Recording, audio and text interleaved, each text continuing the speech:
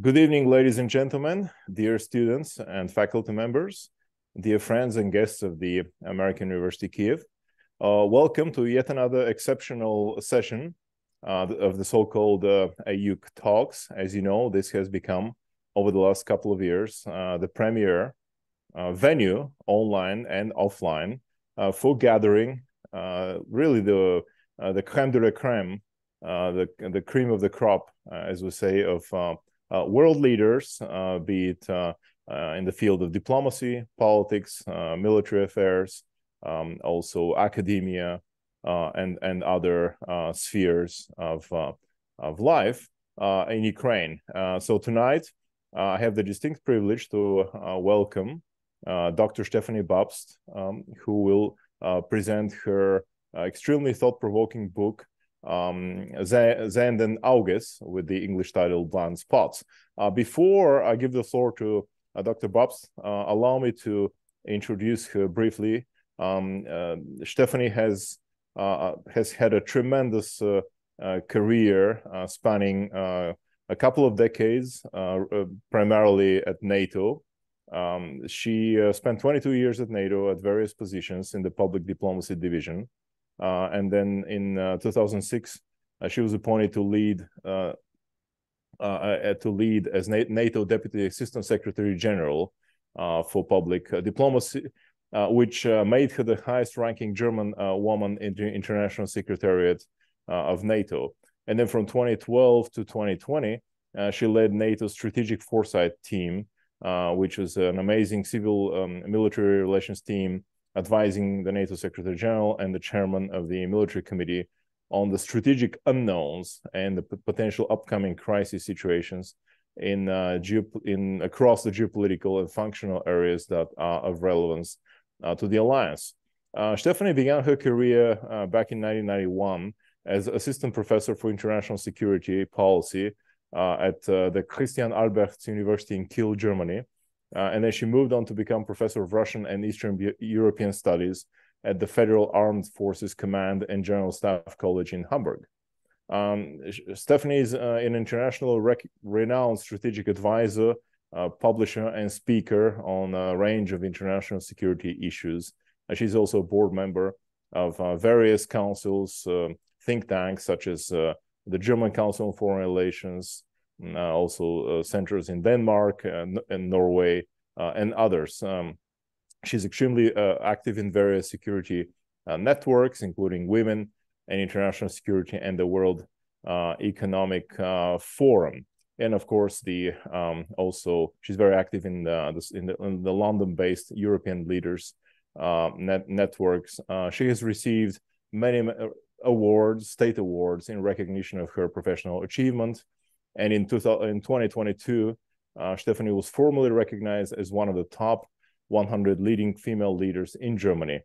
Uh, earlier this year, in April, actually, um, Stefanie published, uh, as I mentioned, uh, the book uh, Sehenden Auges, uh, you know, which you know translates best in English as "The Blind Spots," with the subtitle "Why the West Must Have the Courage to alter its strategy towards Russia.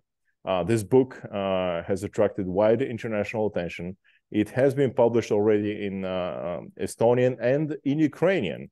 And I would like to break the news here uh, that we at the American University of Kiev uh, are privileged to be given the opportunity by Dr. Babst, by Stefanie, to actually distribute her book in the Ukrainian translation for free to the Ukrainian audiences which um, you know we will start doing um, next month in December uh, after we finalize all the details and negotiations. so this is fantastic news. Um, Stefanie, thank you so much for for the, your generous offer. as I said, this is a privilege and an honor for us. so with this, I, I, would like to give you the floor to lead us on on what I believe would be a whirlwind tour. obviously, it all started historically on uh, uh, mm.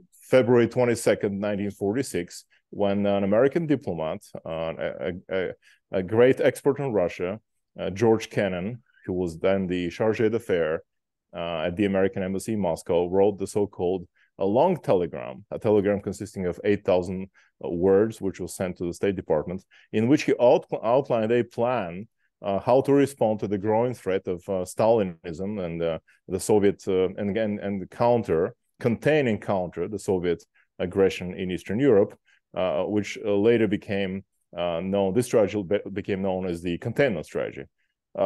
to many in Europe, I'm sure this is sounds like ancient history that was almost 80 years ago. And from our discussion, you kind of suggested that many in Germany were, were surprised uh, to you know to to to hear about your uh, perspective. Uh, but this is something that's extremely necessary, needed. Um, you know, in this day and age when when Russia, as the successor of the Soviet Union, in so many negative ways, let's put it this way, is again once again threatening the uh, pillars of uh, not only of European security but the international order.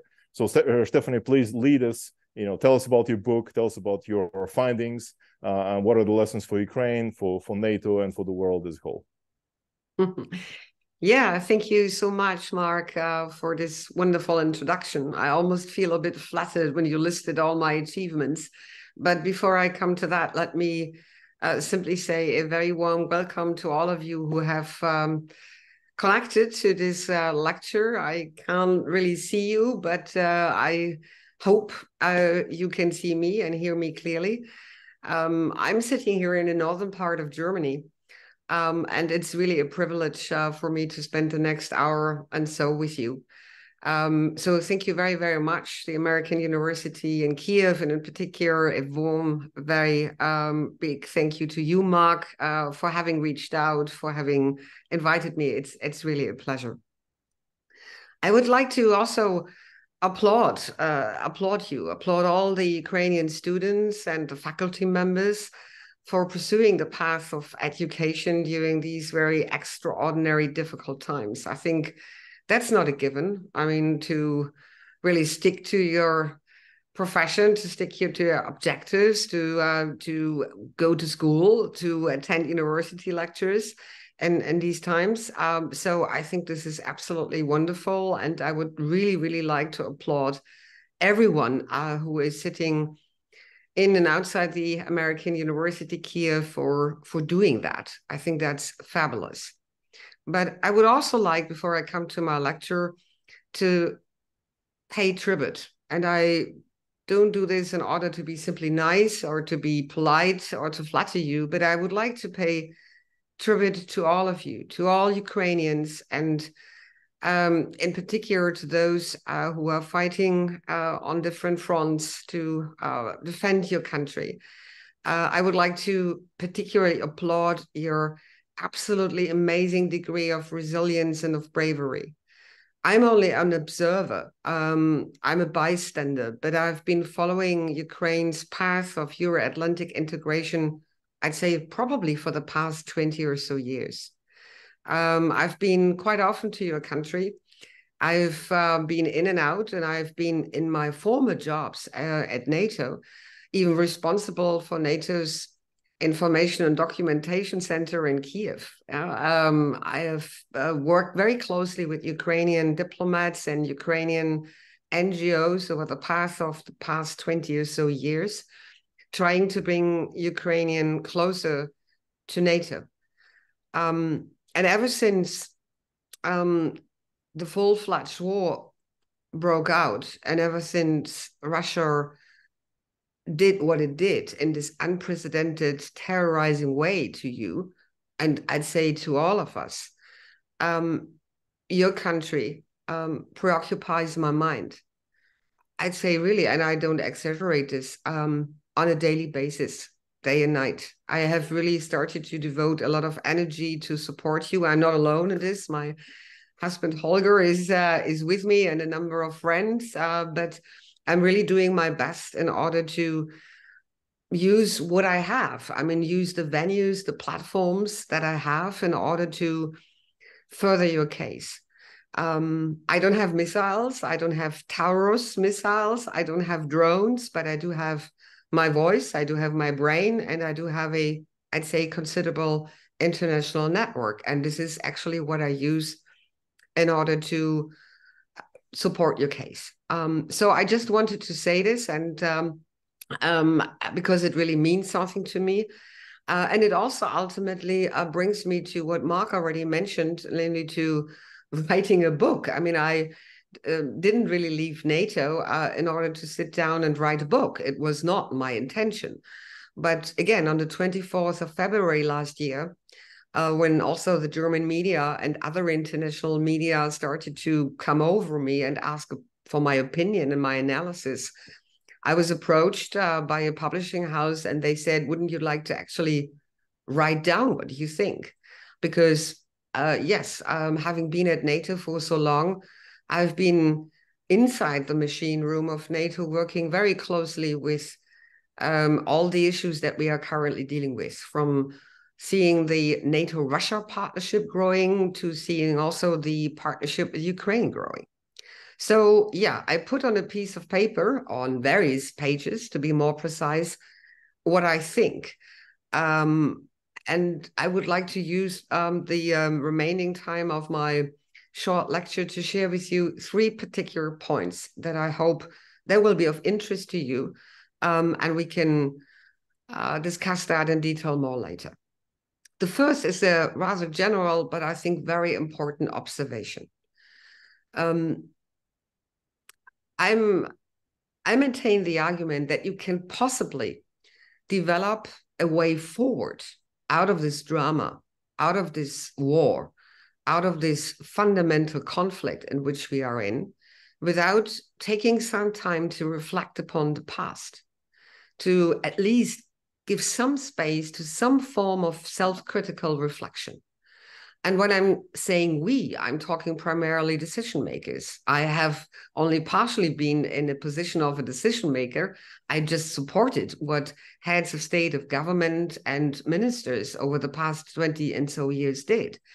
But I think it's important then in our countries, in the countries of Ukraine, supporters, but also in Ukraine itself, we take some time to reflect where we actually completely mis- misjudged and miscalculated our course of action. And I spent some time, not only in my book, but more broadly, going around in my country and elsewhere to encourage decision makers to have the courage um, to to to self-critically and honestly really and frankly reflect what we did wrong and where we actually had what I call blind spots in our eyes, where we saw something, but we didn't really react. And when I look at Russia um, in the past 20 and so years, I think we all saw what we could have seen, namely that Russia over a certain period of time, lately starting in 27, a long time ago, started to turn both domestically, but also from its foreign policy posture into an authoritarian and aggressive, more expansionist country. This didn't happen overnight, and it didn't really felt all the way through the partnership that NATO established with Russia. I myself uh, chaired a number of so called NATO Russia Council task forces, working groups, and committees. I was responsible for a number of projects um, on which we agreed with the Russian side. So I know firsthand how it felt at the beginning, and it felt like there was a readiness in Russia to really engage with the Euro Atlantic broader family, to really play along, to really stick to the rules of the game, to really be part of a broader uh, family of nations. But it changed. And as I said, latest in 2007, with Georgia, uh, with um, um, Russia's uh, military aggression and intervention in Georgia, it changed, and that was the first time I thought, um, looking back at those years, where we should have stopped, where we should have taken a pause, and where our leaders, our decision makers, should have reacted differently but they didn't. I mean, yes, I mean, they criticized Russia, they blamed Russia for what it did in Georgia, uh, but then they turned around and offered a so called reset policy. And the reset policy, which was back then framed by the government of or the administration of Barack Obama, was basically aimed at yes, resetting relations, trying to find common ground on broader strategic issues with Russia, and really put aside those critical um, and yeah uneasy themes um, and sentiments that we all had in us. I recall vividly 2008 when we then made the second big mistake, which was at the Bucharest summit that NATO hosted. And uh, you all aware, I mean, that NATO's um, one of the big NATO decisions uh, which was on the table was uh, the application of both Georgia and Ukraine to apply for membership action plan. I was in the room with the other leaders, uh, including in the NATO Russia Council, and I heard the German chancellor back then and the former French uh, president Sarkozy vividly um, and vehemently arguing against. Um, I thought that was this, I mean, the second big, big mistake that we made because we left Ukraine in a security gray zone. We said yes at some point i mean you'll be you become member but we don't say when and we don't say how and we don't give you a concrete timetable. We just continue basically remaining on autopilot. That was again i keep on stressing there's a second big blind spot that we had in our eyes and clearly it led us to consequential russian aggressive behavior that we saw in syria that we saw in our own countries with the rise of hybrid attacks against um, member states, against uh, cyber um, infrastructure in member states of NATO. We saw disinformation campaigns. So there was a lot, lot of um, what I would call indicators that should have led to decision makers to say, listen, there is something wrong with our relationship. We need to alter the course of action. And then 2014 came, and I was in the room uh, with um, ambassadors in the North Atlantic Council when they were shown the first footage, live footage of the so called little green man conquering Crimea. And um, what was followed back then was, I think, another third big strategic mistake. Yes, NATO decided to upgrade its defense and deterrence posture, but basically it remained behind its own fences. Yeah? It remained behind uh, its own fence, um, parting the the NATO territory from the so-called countries in between. I mean, the very, very term countries in between gives you an indication. I mean, what a bizarre security concept that was.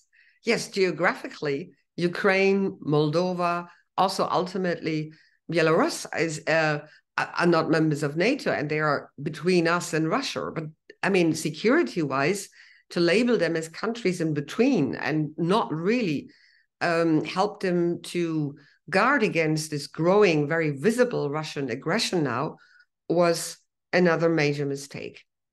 So I'm listing these mistakes because I think it's important that we do have a discussion about these mistakes. And I, as I said, I keep on going around from forum to forum and arguing that, yeah, that's an important part of a strategy process too, to reflect what we did wrong. But I must be honest with you, between Oslo and Rome, between Berlin and Washington, I don't see much appetite for having these type of reflection um, I also said at the beginning, I would like to encourage also Ukrainians to also have the same type of self critical reflections.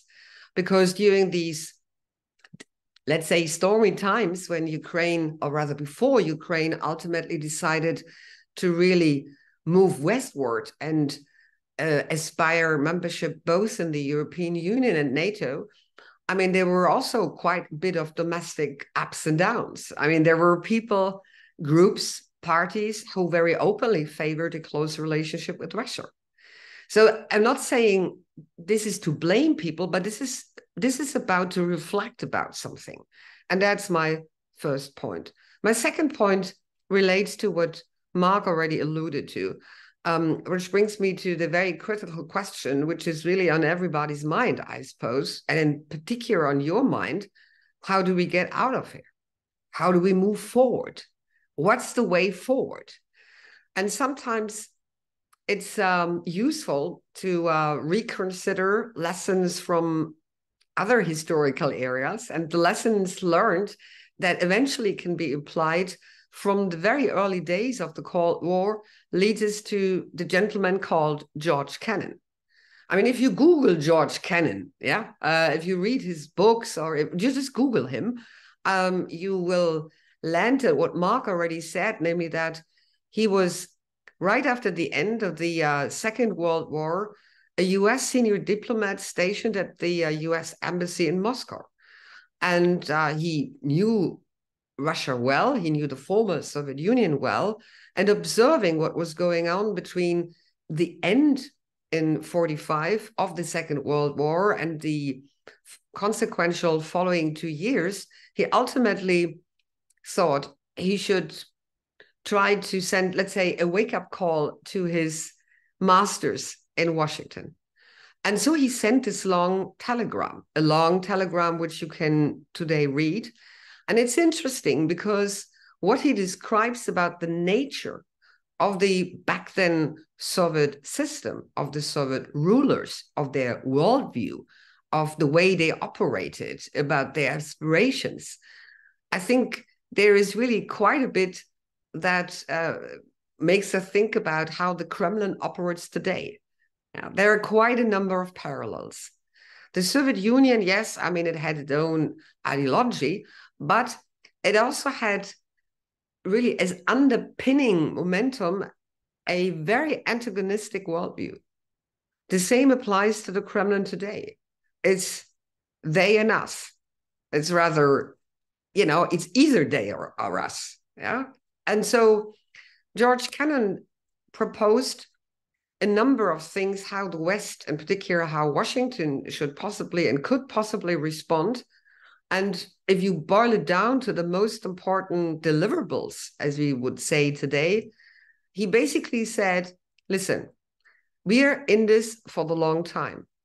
The Soviet Union, the Soviet, let's say, expansionist aspiration, they way I mean, they will try to pursue their national objectives, not only in Europe, but across the globe, in our own countries, including, will be there for a long time.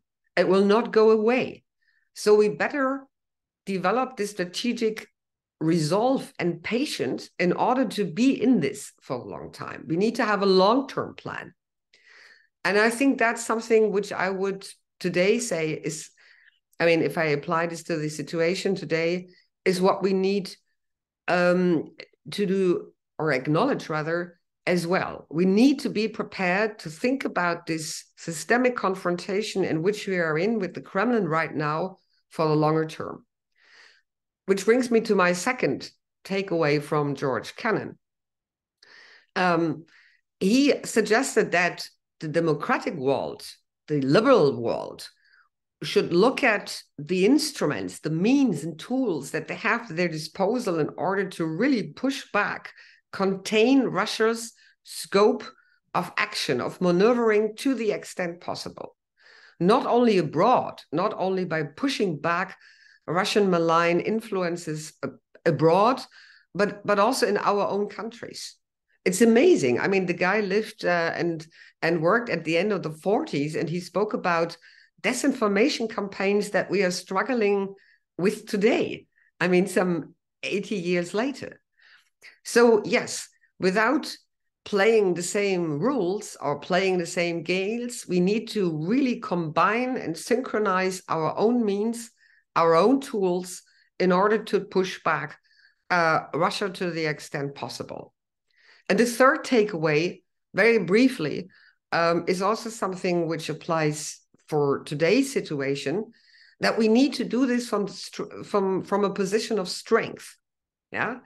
Not try to give in uh, to the temptation if i can call it like that the temptation to to to hope at some point we can manage relations with russia. You cannot manage a relationship with a great nuclear and conventionally armed power, which is on an assertive aggressionist path. it's nuisance. I mean, to hope you just need to find the right mix of incentives, economic incentives, diplomatic incentives, and then you can basically manage that relationship. You need to be very clear um, in your own strategic objective, which is, as I already said, to push back to the extent possible and communicate to the Russian side that they shouldn't even try to doubt our own resolve, for which we obviously need unity within our own ranks. Now, all this is probably, I wouldn't say pretty logical. I mean, who would argue against uh, containment now, in particular in a retrospective, knowing that we were able to live and prosper economically, socially, and politically under the umbrella of containment for more than what 50 60 years? For a long time. Europe lived under that containment um, and it benefited from this type of containment. It didn't come without any costs because if you look at what the allies back then um, invested into finan- into military capabilities and defense budgets, it was considerable. It was really really considerable. If you compare it with today's budgets it's i mean it was almost you know triple as much. So i'm making this point about george kennan not because i think one could apply his containment policy one by one this is not what i'm saying i'm just saying that it's probably worthwhile looking at what he actually prescribed to us and trying to adjust, adapt some of his thoughts for today's situation. Now, which leads me to my third and final point, and then I'll stop. But if you'd look at the discussion in in NATO member countries and Ukraine supporting countries today, after 20 months of this absolutely unprecedented wave of terror that you all must endure, you have still countries, and I'm regret to say I would also include my own country, Germany. Um, not it's not the only one, but I think it's a very illustrative example, who argues basically you can't, this is number one, you can't and shouldn't mess around with the nuclear power. you, you shouldn't do that. Yeah.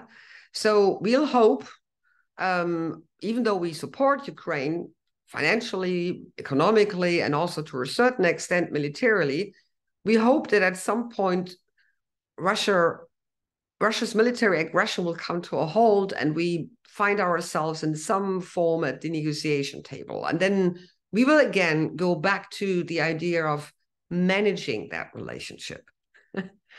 I and you uh, yeah I, I, I wouldn't i guess you wouldn't be surprised if i say that i'm completely of the opposite opinion. I think it would be a major strategic mistake if we would go along that path. Um, I would also argue that we would need to, in applying a new containment strategy, um, need to put a number of priorities on top. And the number one priority that I would put in this containment strategy on top is to, first of all, and unconditionally give Ukrainians all military equipment that they need without any caveats, without any restrictions. Um, unfortunately, again, this is not completely the case. There is a delta between what countries pledge and what actually arrives.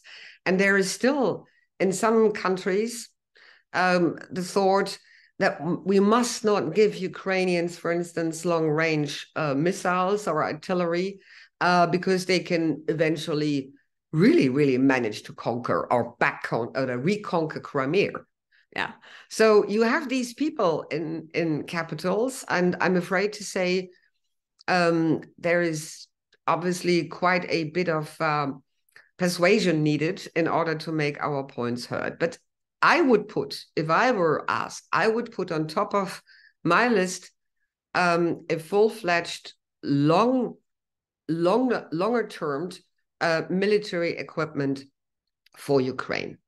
The number two I would put on my list, and I think this is I mean, this goes very much without saying. In looking into the future, we must not allow ourselves to create any longer gray zones. If we are really serious about creating Europe whole and free, of course, we must strive to integrate both Ukraine, but I would also argue the other countries, uh, if they wanted, Moldova, for instance, or parts of the Western Balkans, where Russia's influence is still pretty toxic. We must involve them and integrate them and give them a an integration perspective which is not 20 years but rather two years and this clearly also applies for nato membership yeah i have been advocating uh, in summer day out and day in um, to give ukraine a very concrete timetable for accession talks. Yeah. For me it's absolutely clear. I mean we cannot and must not even at, at some point military activities will will come to a halt and will cease. You know we we must really um, bring ukraine into uh, the nato family in order to give it the protection the defense protection it needs and it fully deserves so one of the big things that I think we need to collectively do and work on is to persuade policymakers in those countries who are still reluctant to do so. But the longer we wait, the longer we send the strategic message to Mr. Putin that he can basically just continue doing what he does. And uh, trying to change the strategic dynamic, not just on the battlefield, but broader, um, broader in a broader political and strategic sense, we need to give him messages. We need to send him messages that he clearly understands where we draw red lines. And the red lines that I would draw is clearly um, um, is is clearly um, you know in in the membership uh, in the NATO membership business he would not dare to do so.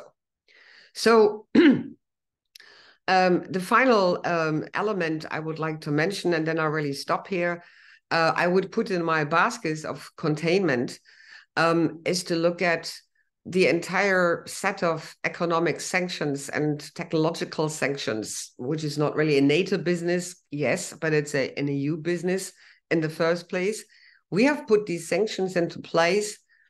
Um, they sound sounded pretty good at the beginning, but now after some 20 plus months, we have all come to see that they're holes, big holes, that, that we basically underuse our own sanctions. There are companies uh, located in my countries and other countries who don't give, excuse my language, a damn about these sanctions.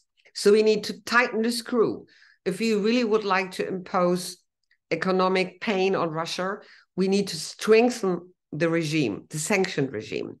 I think this is very, very important. I will not go through the entire list because I would like to um, keep something for our discussion, but I hope I haven't spoken for too long.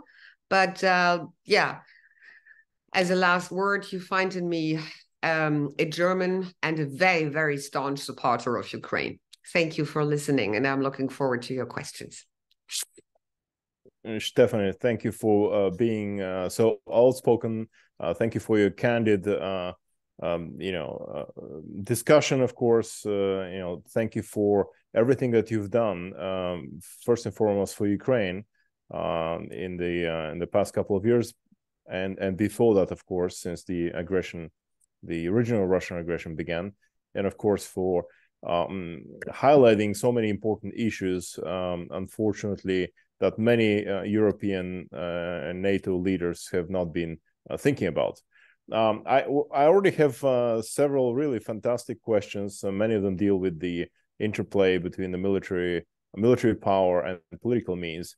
Uh, but let me um, use my my prerogative as a, as a moderator to ask you a couple of questions of my own. Um, you know, this this talk is obviously part of part and parcel of um, our graduate level course on the global security system, and so I would really like our students to understand um, a little bit of the of the theory uh, that that kind of underpins your thinking, and mm. how we can actually use some of that and also the the historical reference to Kennan and what he did uh, to actually uh, elaborate and create a, a, viable policy for the next uh, 50 years. Uh, I mean, uh, obviously, Kennan, as we as we mentioned, you know, wrote what he what he you know the, the long telegram in 46. It was published in 47 uh, by Foreign Affairs under the um, um, you know um, Mr. X you know mm. Right. name, and then it became the you know really the the the the, the pres- prescription, so to speak, for the next 40 plus years until uh, until 1989 and the and the fall of the Berlin Wall. Um, do you see uh, the, the, as I've been thinking for all the years, and then as you mm-hmm. were talking, uh, why Kennan was so successful in convincing the first the American leadership at the time, obviously Truman, mm-hmm. um, you know, and and then obviously the Western leaders. Uh, the, the, fact that he proposed uh, really workable solutions, first and foremost, uh, psychological warfare, mm-hmm. and then uh, economic aid to the uh, nations of Europe. Mm-hmm. Um, this, you know, he really put the focus on the non-military aspects mm-hmm. of containment. Correct? Yeah. Uh, until really uh, Reagan came in the in the 1980s with his rollback strategy, where mm-hmm. he actively started, uh, uh, you know, toppling or, or supporting, you know, the mm-hmm. the collapse of uh, leftist, uh, you know, pro-communist, pro-Soviet governments, especially in, in Latin America, but also across the global South. Um, so, do you see any appetite uh, currently um, among you know the elites that you've been dealing with uh, in, in, Germany, Western Europe, uh, to actually repeat this long-term uh, strategy? It's not a strategy for the next one or two years. We're talking mm. about decades in the future. Mm. What are uh, you know? Do you see any anyone ready to uh, undertake this gigantic, ginormous task? And what will be some of the challenges to execute a coherent strategy not as i said for the next three four mm-hmm. five years but for four or five mm-hmm. decades well um you've probably read a few uh, of the articles that i've read as well authored by for instance condoleezza rice uh, or niall ferguson uh, they argued not necessarily related to um, to um, to Russia, but also looking at China. We haven't even spoken about China uh, one of uh, Russia's partners in crime, if I can call it like that. But uh, yes, these these people, um, I think uh, they are they are very much along the same line of of thoughts here.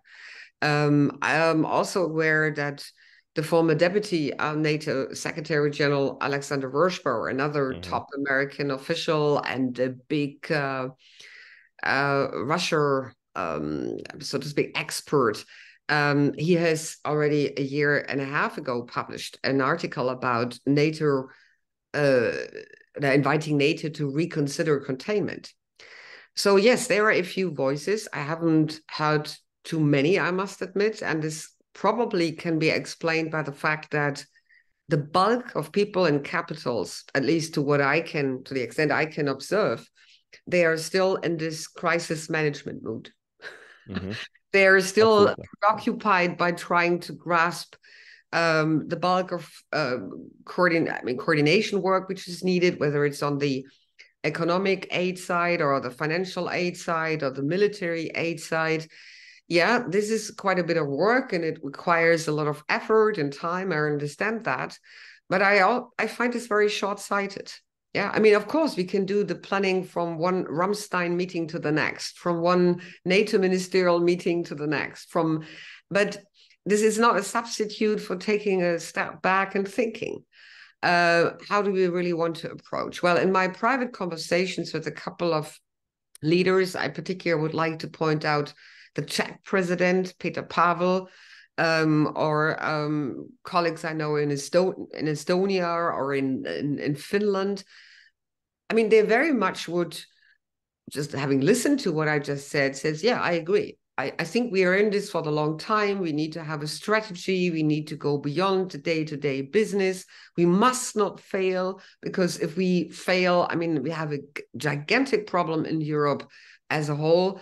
Um, even, even, I mean, really uh, super gigantic. So, yeah, there's this sense, but there is also, yeah, there's also there are also other people. And I, at least in my advocacy work, I try to focus on the other people in order to really massage them and push them and push them and push them. Um, but we are far from having only had one dedicated discussion in NATO on the level of NATO ambassadors about what George Kennan could possibly tell us today. Yeah. Uh, what I'm saying here, I should probably not say in public, but th- there is no such a conceptual, doctrinal, broader strategic debate to this very stage. So we must try to put it on the agenda. I think that's that would be very important. Uh, that's extremely important, and I'm very very happy that, uh, as I said, you candidly mm. share this with us. Could it be uh, this lack of uh, of an overall grand strategy? That's effectively what mm. it's tantamount to. this lack of courage to admit to ourselves that we're in this fight for the long time even even after ukraine defeats uh, russia and expels it which i'm mm. sure it will with mm. uh, with the right aid but you know that doesn't mean the end of uh, putin's no. regime and even no. the end of putin uh, putin himself doesn't mean the end of autocracy in russia right absolutely and, and so uh, so you know having having said that um, what, what do you think uh, Kennan would say like if he had the chance to take to, to look at the situation these days i mean obviously he's he mm. passed away back in the early mm. 90s i mean kennan was obviously a, a, a great uh, opponent an enemy of, of, of, the soviet regime but in other ways he was also a Russ, russophile in the classical sense you know this you know he spoke the russian language he studied it in riga latvia between the two wars mm. um, then after the soviet union collapsed he was very critical of the expansion of NATO. You you would agree. But if he would see now the Russian nation that so appears so united in, in their hatred against the West, I mean, back in the day, he, he described a Russian, well, a Soviet nation that's subjugated by its own rulers. So he clearly made the distinction that the Soviet leadership is one thing, the Soviet people are mm. something else. Mm. Now it seems that they're the Russians, uh, you know, the huge percentage are actually quite, uh, you know, anti anti-Western, do we have a chance to even, you know, influence their hearts and mind? Eh, well, we can contain them, right? And I hope we do. How do we go further? How do we go beyond? How do we pass through this wall of propaganda, lies, uh, uh, state control that that Putin has designed for, for and his his regime has designed for Russia? Well, this is a full set of, of different questions, but coming to your first, what Kennan eventually would say, I I think he would probably be both appalled and shocked at the same time if we tell him that Russia set out to destroy a nation. The Soviet Union back then, yes, it tried to exert its uh, military and political dominance uh, within the Warsaw Pact countries. Yes, and it, it, I mean, it sent out, let's say, on a here, I mean, on on a number of occasions, um, tanks and troops in order to suppress opposition and political dissent, as we've seen in Hungary and in Czechoslovakia back then. So, but these were small, almost you know limited military excursion. This they served a certain purpose, but what Russia has started to do in um, back in 2014 and now has exemplified uh, this on the military in a military sense is to basically try to annihilate a nation yeah destroy a nation. Um, and i would say i would i would assume i don't know but i would assume uh, that Kennan would be pretty shocked about this level of aggression. I mean it's a different quality. I mean it's a different quality to go into syria and to support somebody like Assad and you go with certain, let's say, limited military objectives and limited military power, or you amass, you know, uh, half of your army in order to destroy your neighbor and terrorize your neighbor and commit ecocide and and commit war crimes of, of in that size. I mean, this is really a full, fully, I mean, completely different dimension. But I would also probably assume that Kennan would say, you know, what, what this regime in Moscow fears and hates most is you know, is economic success, is civil liberties, is people who are actually content with their life and would like to stay in their countries, would like to develop a life, a democratic, liberal, full, and rich life.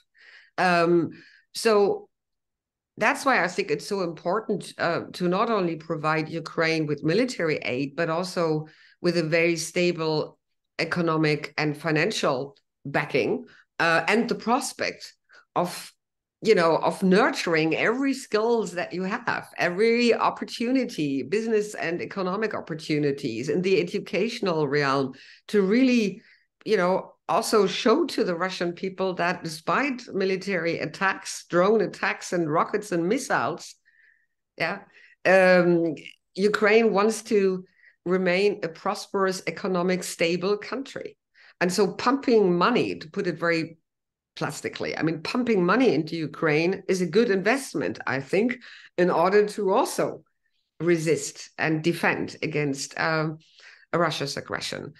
But coming to the question of the Russian people, well, I mean, we are talking millions and millions and millions of people. Um, I've spent probably like you and many others a good portion of my life also traveling through Russia. And I yeah, I, I would probably boil it down to the following. You know, every one of us has to make choices. yeah.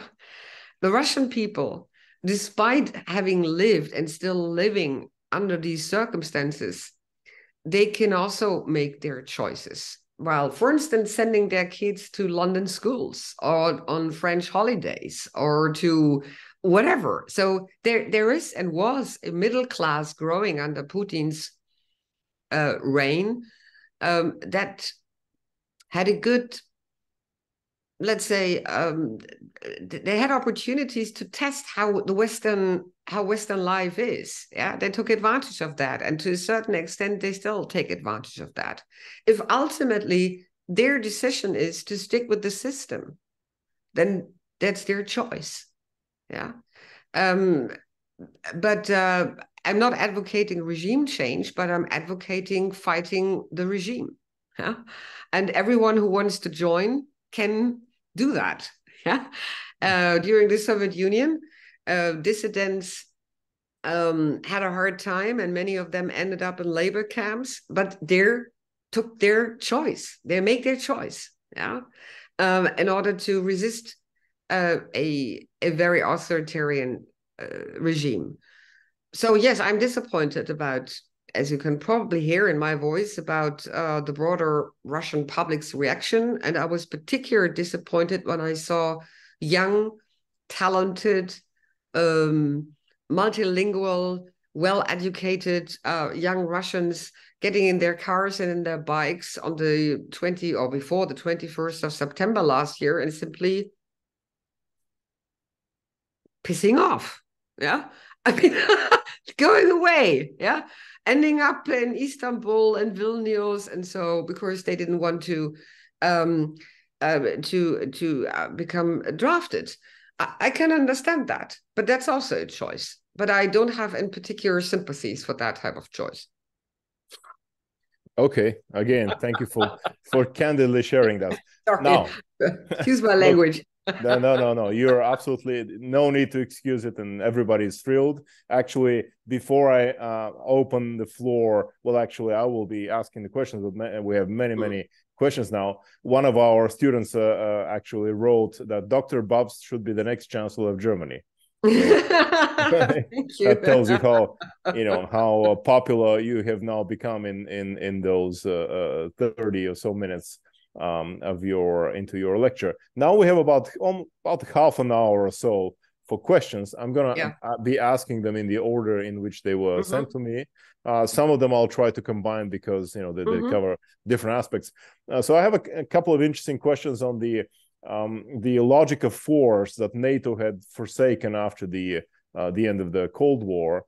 Um, you know, Kennan, as you as you wrote, uh, clearly understood that the Russian leadership um, uh, is influenced mostly by the uh, well the Soviet leadership at the time, but the current Russian leadership too. you know the, the logic of force the threat of force you know if you push against them they mm. they yield okay so the, the question is um um uh, why did nato you know 30 years ago kind of retreated from this logic and and, and decided to trust uh, russia to trust that that, that um, the russian uh, system would become democratic uh, and linked to that uh, is the second question do you think it's practically possible uh, for for a strong NATO response, meaning a limited or indirect NATO military involvement, especially the, the fact that NATO has superior technology, weapon systems, mm. and then Ukraine has this uh, unique experience in fighting against uh, Russia's military machine. So the uh, uh forego, you know, forsaking of the logic of force 30 years ago, it was a mistake. Why it happened? What can be done? Is NATO, in your opinion, mm. ready to actually use uh, return to the politics of, of, of forces? Well, to be fair to my former employer, mm. um, the principle of deterrence, both conventional and nuclear, um, is still very, very important for all member countries.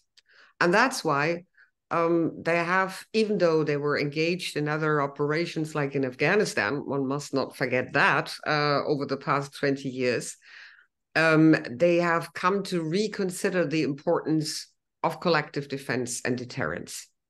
And so, ever since 2014, you see that not all, but a number of countries have really started to reinvest into the credibility of their deterrence posture, which is to invest more into their own defenses, uh, budgets, uh, research and development, and ultimately also boots on the ground. Um, this is very much true for some countries, as I said, but it's not, unfortunately, true for all countries. And that's a struggle that my former bosses, the NATO Secretary Generals, have ever embarked on, namely to remind countries there is uh, really an obligation to maintain that particular level of, credi- uh, of credibility and deterrence. This is, I wouldn't say theory, but this is probably what a formal official uh, of NATO would uh, would say today.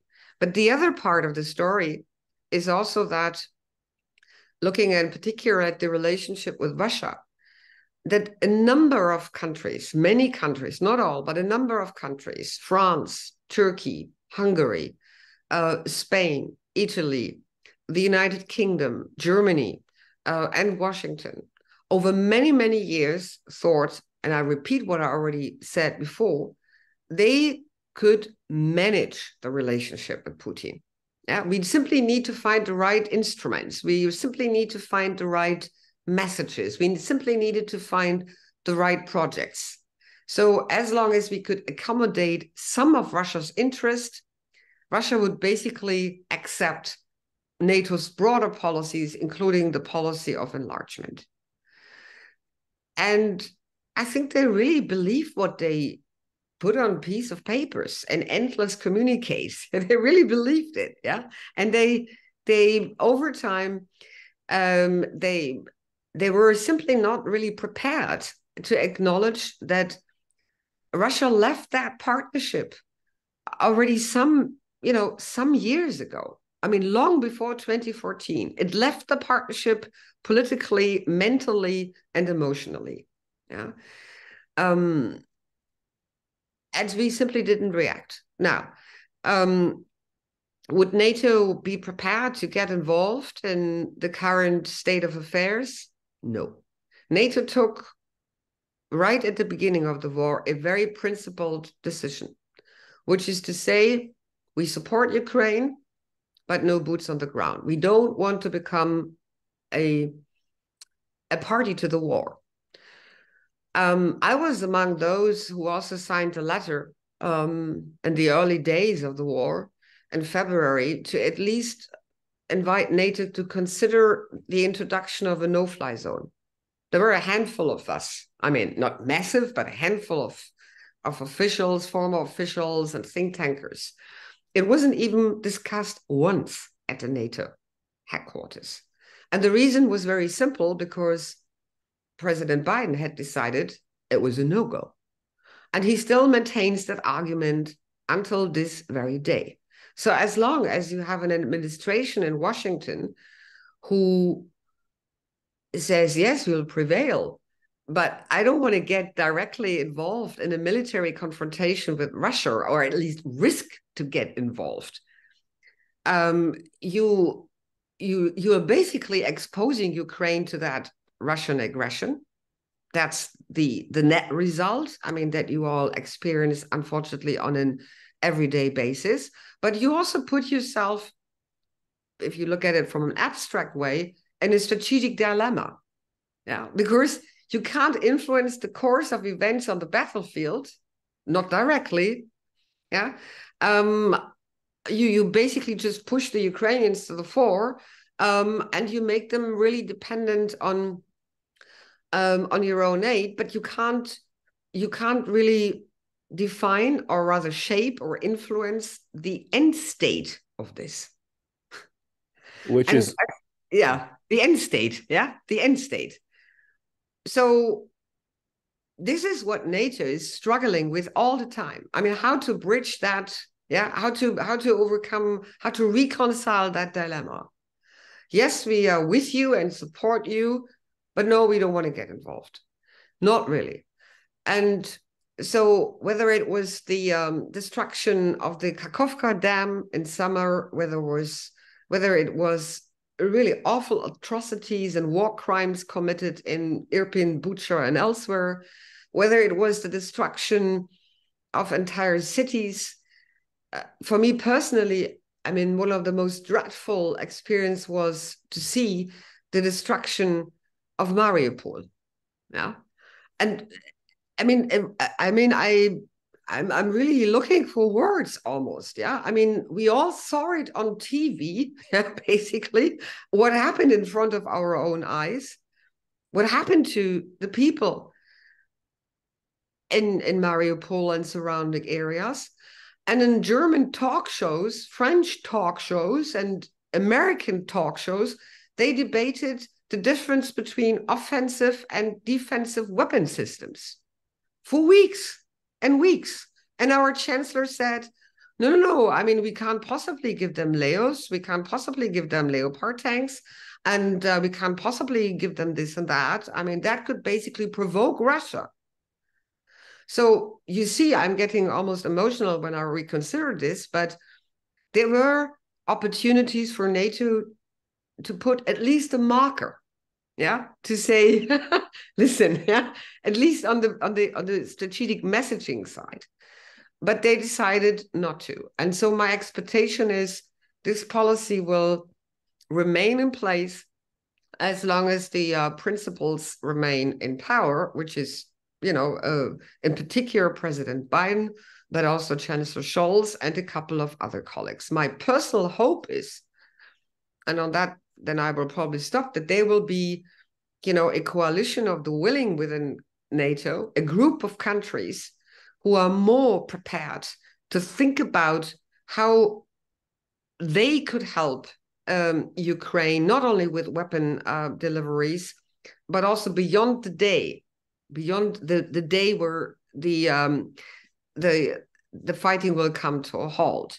And this brings us to the question about a NATO a Western presence, a military presence on Ukrainian ground, on territory. Yeah. Um, as long as Ukraine is not a full fledged member of NATO, there must be some type of visible presence. Now, how could this look like? Who could this be? How could this be organized? Yeah, who would be prepared to put in troops, boots on the ground? That's a discussion that I have already started to have with some capitals with some colleagues in capitals, to be more precise. But on the open, on the official level, people get a heart attack if you put the question to that. That's a bitter reality. Um, but I think we need to, we, I put myself here into our, let's say, collective shoes, but I think we need to reconsider that and really also through the Ukrainian government, really push back to the extent possible. And for that, we need all voices, every voice. Absolutely, especially voices like you and voices uh, such as the uh, those of uh, all those brave Ukrainians, uh, not only you know obviously they're they're the people who are fighting, but also they're experts, they're think tank community, they're academic uh, people, politicians. Actually, uh, this is one of the questions from uh, from one of our um, brilliant students who's actually a professor in Germany. She teaches at the at the Hochschule Fresenius. Okay. Um, so, mm-hmm. so she's asking about uh, uh, you know about what uh, you know there are so many uh, ukrainian opinion leaders um, you know if if there were so many blind spots why not you know why not use more ukrainian voices that would explain mm-hmm. to the to the western audience to the western decision mm-hmm. makers mm-hmm. um, you know what what you know what what's really happening do mm-hmm. you see do you see um do you see this possible do you see yeah yeah especially definitely. the especially in the context of, of, Russian propaganda being so powerful in the West, why not bring more, uh, in, in, as a matter of official policy, more mm. uh, of uh, Ukrainian voices to the West? Well, I have to first of all say I give immense credit to whoever is in charge of uh, designing and implementing your information operations campaign. Mm. I think Ukrainians do a fabulous job uh, in making their voices heard, in particular also in the social media. If I look at my Twitter, or rather X uh, stream or LinkedIn or in the social media platforms, I see a lot of Ukrainians uh, with very smart um, stories, messages, background information, varying, I mean, the various messaging. I think that's very, very important. Um, so that it doesn't really boil down to we just need guns yeah? So that it is a, a whole array of messages that you can uh, play with and and craft in order to get the story across. And i'm talking now almost as a public relations official but i was responsible for crafting nato's public diplomacy strategies for so many years. So this is still a bit in the back of my mind. But more than messages on social media people matter people to people relations yeah? People telling their stories people um, engaging in different in different groups uh, whether it's you know student to student exchange whether it's uh, um, ukrainian artists uh, lawmakers and so i think you have a number of really super super talented and impressive let's say um, ambassadors yeah i mean uh, talking ambassadors talking heads i i met i had the pleasure to meet for instance alexandra Matviichuk uh, some time ago, and I know she is doing a lot. She goes around from forum to forum, but there are plenty, plenty more opportunities. And let me also stress finally the importance um, to talk business to business. Yeah, um, and let me make a parenthesis here. I mean, when I was given this award of uh, the top 100 people that are women in Germany, I um, gave a master class um, to uh, a group of very, very prominent and successful female entrepreneurs in Germany. And I suggested to them, I mean, to establish something like a sisterhood program for Ukrainian female entrepreneurs. Yeah um, get them involved, um, offer them tutorships, invite them to their activities, whether it's not in situ, do it online. I mean, but but really find partnerships, steady partnerships, which is not just, you know, you meet a person and then you he or she disappears. Yeah. So do this. So Ukrainians can go out and offer that, but I think there is also plenty of opportunities if I look at German companies, if I look at associations, etc. But people to people contacts matter more than anything else. You can design a wonderful campaign with headlines and illustrious uh, footage, but it's people you must ultimately persuade. And this crowd that you're talking to is definitely uh, persu- uh, you know yeah needs no persuading and no, no. many many of them especially those who work in the west mm. and have western contacts yeah. spreading the word uh, but again yeah. thank you for proposing such a bold plan let's move back uh, in the in the last 10 or 15 minutes that we have uh, to nato you know there there's a good uh, um, you know succinct question on how does NATO see the end of this war. You said about you spoke about um, you know the end, the strategic end. Mm-hmm. What's the end of the war? Is it the is it just uh, what is a satisfactory result? Is it just Ukraine recovering its territory, or is it uh, the end of Putin's regime? You know, what should Ukraine also eh, from from the point of view of NATO and from a point of view of Ukraine? What do you think should be the strategic uh, end game? Well, in order to um, understand NATO's positioning, which is the collective positioning of some 31 countries, hopefully one very soon, we just have a few references. One is, uh, for instance, the summit docu- uh, communique, yeah, mm-hmm. where, where the countries actually put in writing um, what they think, uh, what how they view that. And if you look at the Vilnius summit communique, mm-hmm you find a lot of negotiated diplomatic language. I nevertheless advise you, if you haven't done so already, to take a really dull moment mm-hmm. and go through the communique in order to try to understand what is really said in the text and also between the lines. And you will you will not be able to find a lot of concrete answers to the questions you just posed to me because NATO still maintains the sentence or the language rather, we will remain with Ukraine as long as it take. Full stop. There is no prescribed, defined strategic end state.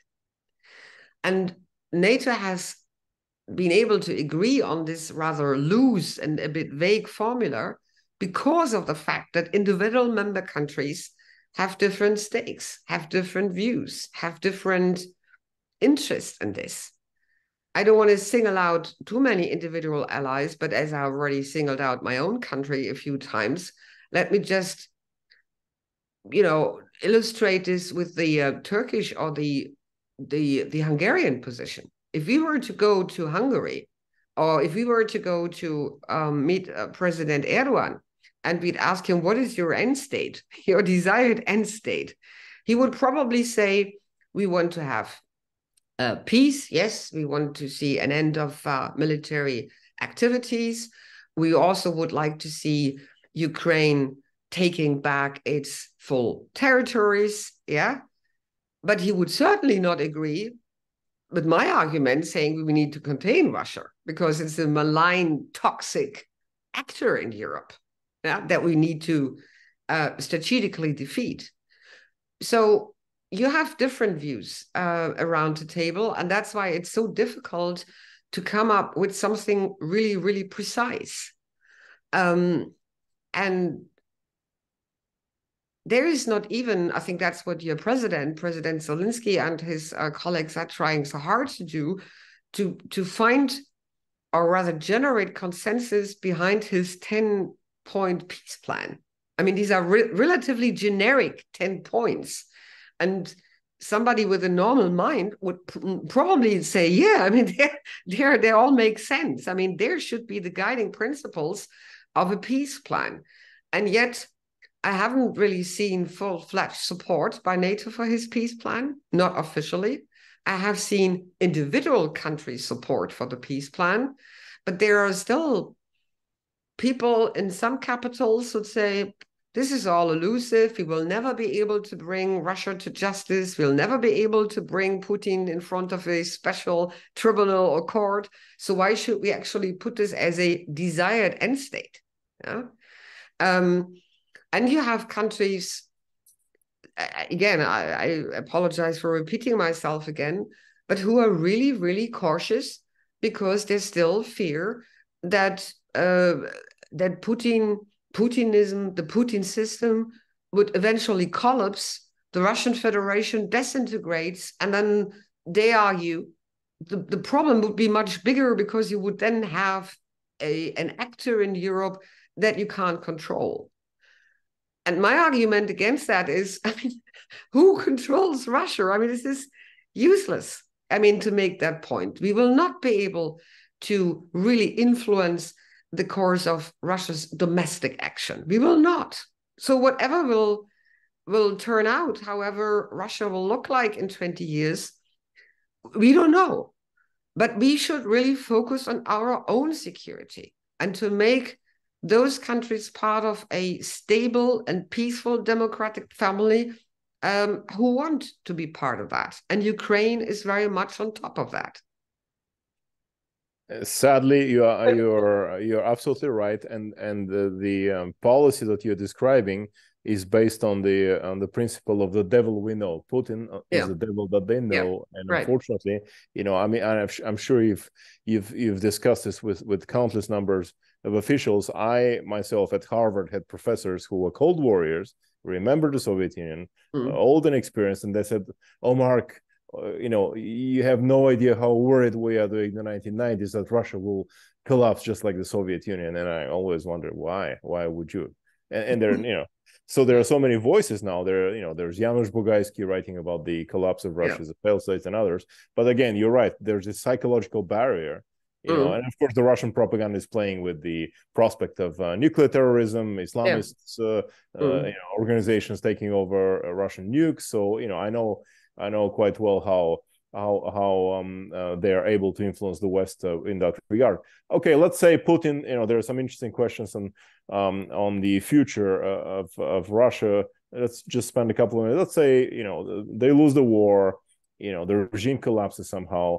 Uh, do you think uh, the West will give will let Russia off the hook the way they did the Soviet Union with no reparations? I mean, and compared to what what Germany had to go through after the war, I mean, need, no need to repeat that. The the you know the information mm-hmm. campaigns, the reparations, mm-hmm. all the shaming and blaming and naming everything. Mm-hmm. The Soviet Union didn't go through any of that, and on top of that, Putin claims that they were actually humiliated by the West. They were not. uh, do you think uh, there there'll be always a temptation in the West to you know let's forgive them? They're now democratizing. I mean, I'm I'm speculating. It's hypothetical, but this seems to be a trend. Would you agree, or would you disagree? Yeah, I would agree.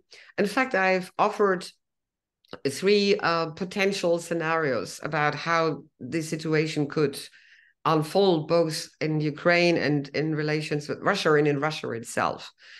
Um, I think it's important to, this is just a another um, let's say fragment of my of my thought here but i think it's important to position ourselves um, and, and think in terms of scenarios there is no such a thing as a linear course of action so for different scenarios, um, Russia being in turmoil, the Putin system collapsing, um, internal upheaval, um, converging, diverging groups fighting with each other, another smuta, as we say in Russia. Mm. Yeah, is a scenario I personally consider likely not tomorrow and the day after, but at some point, because it's pretty obvious that the system already has a number of cracks, uh, even though the propaganda tries to suggest that it's stable and uh, Putin has everything in, or rather, under his control. Um, but I don't believe this for a minute. Yeah. Um, so there will be some more cracks to come, uh, and there will be probably turmoil. Um, perhaps even and that could be another scenario. We will see a repeat, a modern type of 20, uh, sorry, 1917 repeat. Mm. yeah. Um, uh, if you look at the so-called uh, power structure, power struggle, sorry, power structures in yeah. in Russia. If you look at um, the intelligence services, the armed intelligence services, and the armed forces, uh, the other services, including you have at least 20, 25 plus different armed factions. Yeah. They could eventually uh, start in, in a fighting. We don't know. Um, so yeah, turmoil, I would argue, is certainly a scenario which entails a number of plausible elements. But your question was, what about us? Should we continue insisting on there is um, time for not payback, but there is time for bringing people to justice. Absolutely, because this is our core value. I mean, if we keep on, if we if we basically say no, no, I mean, uh, this is uh, not feasible, it's not practical, it's not doable. I already hear people saying, "Oh, we'll end up with another Versailles syndrome," and that's mm. Yeah, that's very dangerous, and we must not humiliate Russia, and so on and so forth. Yes, you hear these type of arguments, but they're nonsense. If we stick to our own values, to what we really believe in, of course, we must bring people who committed crimes, in particular war crimes of that volume, of that, that dimension. We need to bring them to justice. We need to make them pay and in a proper manner, yeah, through courts, through proper procedures. And unfortunately, unfortunately enough, we have a couple of, not too many, but a couple of examples where the international community ultimately succeeded in bringing people to justice. If I think, for instance, of the, you know, the Balkans War, uh, mm. Serbia, uh, or a couple of African leaders who also thought they could get away um, and yet 10 years until later, they found themselves um, facing a, a special war tribunal. So yes, we do have these type of precedents, and I think we need to stick to that line. Excellent. I have. I know we've we've uh, yeah. uh, reached the uh, 45 yeah. minutes past the yeah. hour, but if you have, uh, uh, I don't know, five or 10 minutes more, I have a couple of good questions that I want to ask you about NATO and Germany, mm. if if that's okay with you. Yeah, yeah, that's fine. Okay, excellent. Thank you very much for for for uh, your the additional time. So the question on on NATO is uh, is really straightforward. What to do about uh, uh, this um, uh, paralysis of decision making when someone, like say the government of Hungary, uh, decides to be difficult? You know, is there a, should we have a mechanism in place to actually overcome such block blockage? You know, blockages. Yeah. good question, and something that I would put very much on top um, of a NATO reform agenda. Um, NATO has been reformed um, a number of times. I participated in some of these internal reform endeavors myself, um, but it was it never went as far as it should have been, namely to also reconsider, at least modifying in some ways the core principle that governs NATO, which is the principle of consensus. Yeah. And as long as you have this holy cow, if I can call it like that, sacrosanct, yeah, mm-hmm. I don't even want to talk about, don't even want to discuss it, you have a problem. The European Union is a little bit more advanced. I mean, at least they have started to debate internally the introduction of uh, majority voting. And I think at NATO, um, not today, but perhaps with the yet to be appointed new Secretary General, there will be hopefully some momentum, some political willingness to look at some these these sensitive issues um, that really uh, that, that are so important. Um, I'm not arguing that we must get away with the consensus principle in total, but as you already pointed to, the other day, a journalist uh, said rogue states within NATO. Yeah, he asked me about Hungary and Turkey. I thought that was a little bit too much, but um, let's say difficult states, states, member countries, governance um, who very openly sympathize with Russia and have a very close relationship. Uh, the minimum, the absolutely minimum that the other countries would need to do is to find a find space in a discrete form. I mean, to talk about what they could do in order to impress these countries. Yeah, I mean, I'm talking, for instance, financial funding, I'm talking programs, I'm talking military support. I mean, there are avenues, instruments, and tools that the others could use in order to pass the message to these countries uh, at hand saying, you know, membership is not cast in stone. yeah. Um, but again, what we are lacking is the momentum. And yeah, that's uh, one of the things um, that, um, yeah, I'm pestering my former colleagues with because I really think, I mean, they need to become a little bit more bold, yeah, uh, in, in terms of approaching these issues and grow backbone, as we say in, in America, you know. Not talking yeah, about but, yeah, but let me let me just add one more sentence. Yeah, I mean we've seen that with the accession, or rather the invitations for Finland and Sweden. Mm. Yeah, I mean we have two countries who kept the other two hostages, political yeah. hostages.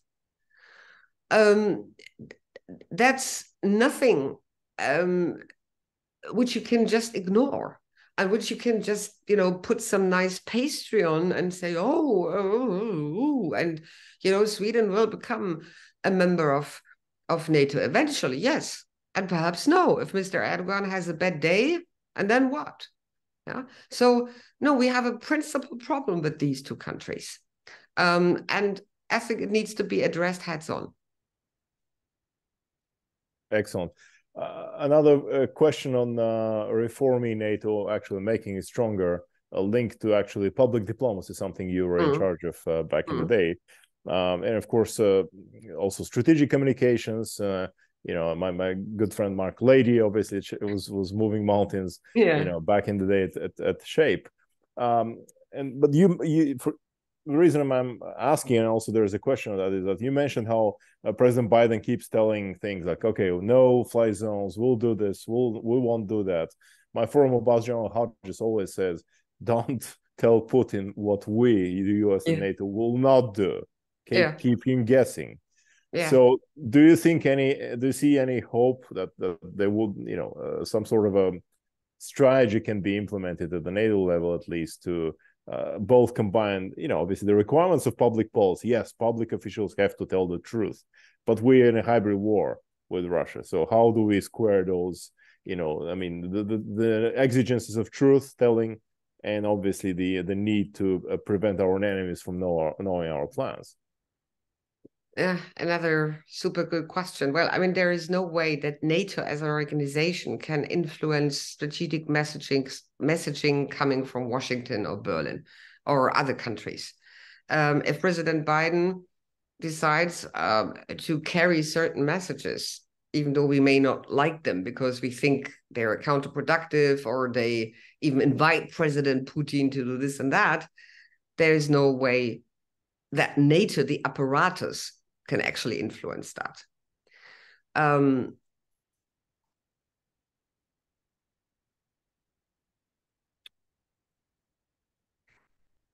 how to raise awareness that this is counterproductive.